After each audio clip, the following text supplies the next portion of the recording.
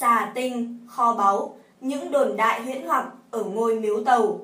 Ngôi miếu cổ ở thôn 2, xã Quảng Minh, Hải Hà, Quảng Ninh, theo khẳng định của nhiều nhân chứng, đây là ngôi miếu thiêng, quanh năm xuất hiện nhiều điều kỳ lạ. Ngôi miếu tàu, 100 năm tuổi.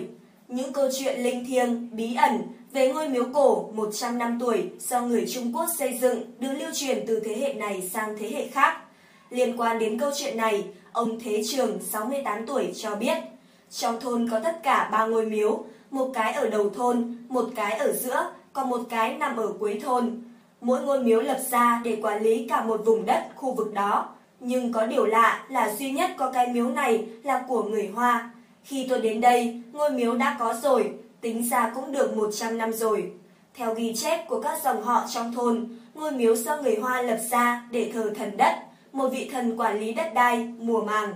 Cũng có không ít thông tin liên quan cho rằng người Hoa lập miếu để yểm và cất giữ của cải.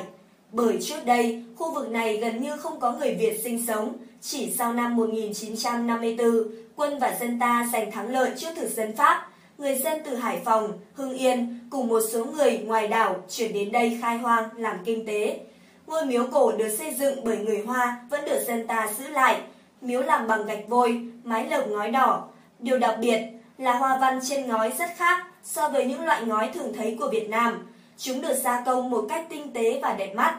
Các cao niên trong thôn cho biết, từ xưa, những người trong thôn rất tin vào sự linh thiêng của miếu này. Niềm tin đó được truyền từ đời này sang đời khác.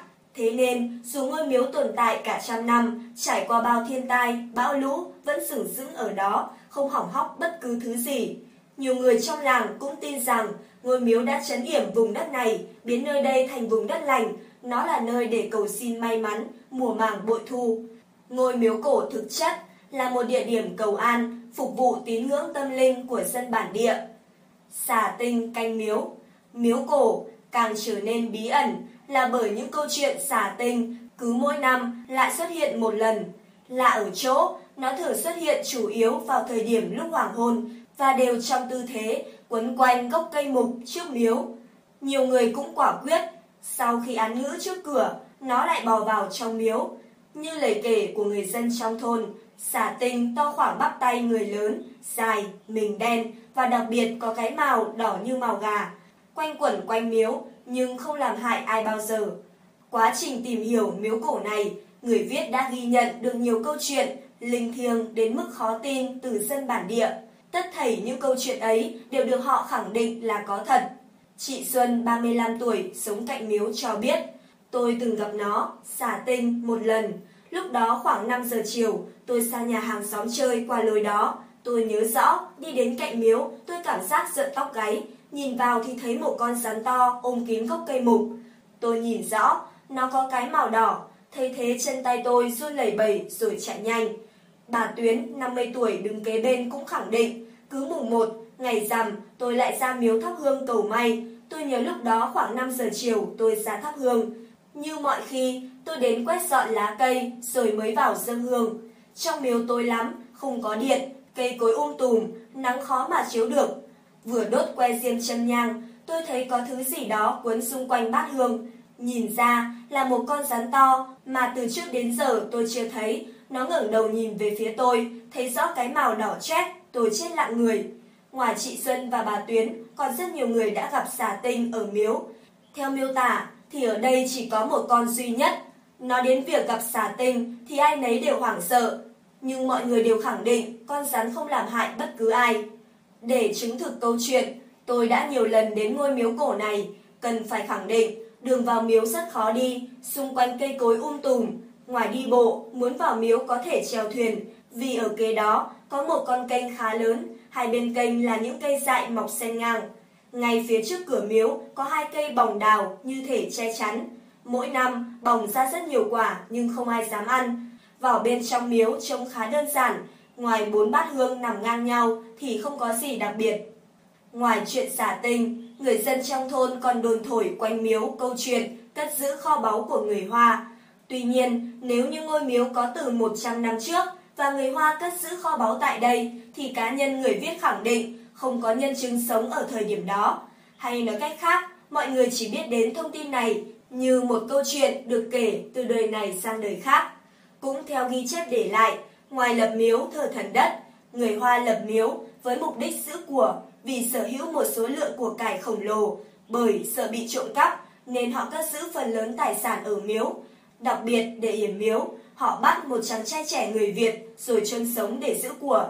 Bất cứ ai đến đây tìm kho báu đều mang vạ vào thân, người bị điên dại, người thì chết không rõ nguyên nhân. Chứng thực điều này, Cao Niên Vũ Tiết Tôn 60 tuổi cho biết, tôi cũng chỉ nghe người đời trước nói ở miếu có cất giữ số lượng lớn của cải người Hoa. Nhưng nói thật, từ bấy đến giờ, ai dám tìm kiếm đâu, họ có bùa phép linh thiêng, ai mà động chạm chỉ có mang họa. Tiện đây, ông chia sẻ thêm, dạo trước có nhiều người không tin vào mấy chuyện tâm linh, đến miếu bắt rắn tìm kho báu, cũng vài người bắt được mấy con rắn hổ mang và chăn đất, mang về ăn, cuối cùng bị đau bụng. May đi bệnh viện kịp thời, không thì mất mạng.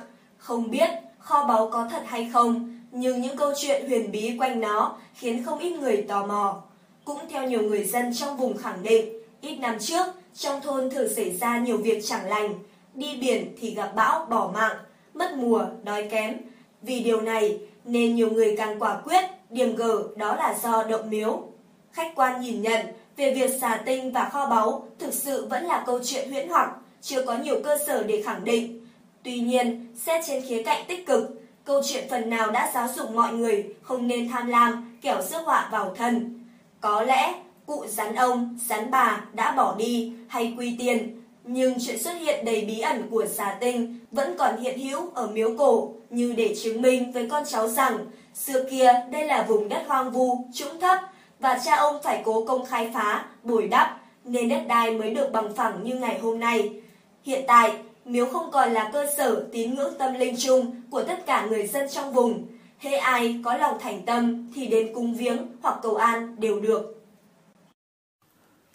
Huyền Bí TV, kênh thông tin chọn lọc về khoa học huyền bí, tiên tri, phù thủy, chấn yểm, lời nguyền.